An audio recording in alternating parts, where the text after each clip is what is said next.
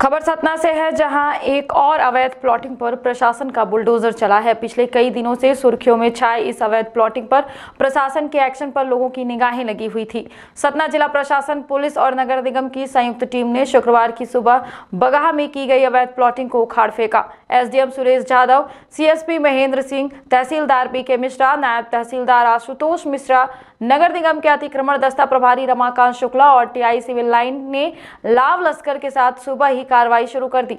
लगभग 10 एकड़ के विस्तृत क्षेत्रफल में की गई इस प्लॉटिंग को तहस नहस करने के लिए चार जेसीबी को मैदान में उतारा गया। यहाँ बनाई गई सड़कों को मशीनों ने खोद कर फेंक दिया, जबकि प्लॉटिंग के लिए निशान लगाए गए पत्थर भी उखाड़ दिए गए।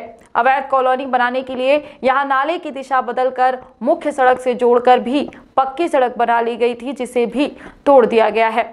आपको बता दें कि बगहा में सतना चित्रकूट मुख्य मार्ग से जुड़ी 10 एकड़ से अधिक की ज़मीन पर यह प्लॉटिंग की गई थी। शहर के कारोबारी अग्रवाल परिवार से कृषि भूमि लेकर मनोहर कापड़ी और उसके साथियों ने यहाँ पर प्लॉटिंग शुरू की थी।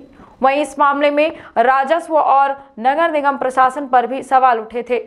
चार दिनों पहले भी प्रशासन ने टिकुरिया टोला में लगभग साढ़े चार एकड़ में की गई अवैध प्लॉटिंग नष्ट की थी, जिसके बाद लोगों की निगाहें बगहा की इस अवैध प्लॉटिंग पर प्रशासन की कार्रवाई पर टिकी थी। सतना से संपत मिश्रा की रिपोर्ट।